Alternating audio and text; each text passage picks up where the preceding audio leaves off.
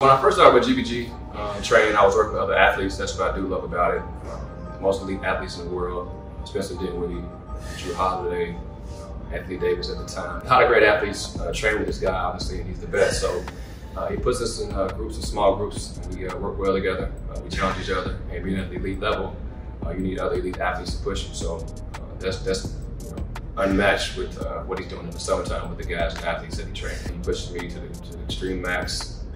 Um, 36 years old, I need to be pushed this way. Everything I can do as far as to get ahead and stay ahead of the game, Mike G adds that to my game. And it's also something new every time. You know, guy that can get bored with the process. I don't want to come in and do the same thing I did last week or even the week before. So every time I work out with Mike G, GBG, it's always something new. Not a lot of strength conditioning coaches can put you on the table and get you going. So the activation part, which is about 45 minutes, depending on obviously what's going on in my body, is a big uh, plus I would say that you bring to the table.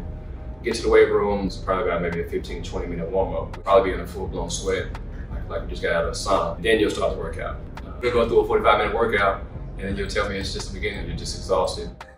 He does a great job of motivating you, getting you through the next steps. That's part of also being a great strength coach, knowing how to motivate his guys, knowing how to get you through a tough workout, and also knowing when to back off. You know, some guys would just try to burn you out, but if you're feeling tired, he sees fatigue, you know, he'll probably, he won't lighten the reps, but uh, he might cut down some sets. Uh, he's really big in particular on each individual athlete, on what they need to become the best version of themselves. I try to surround my life with people that are great, people that inspire me, people that are wiser than me, so I can also breathe up of them and give as much knowledge as I can give them as well. It's a circle that I built that's pretty proud of, and I want to continue to grow as an athlete, as a player, as a person, as a father, every aspect of life.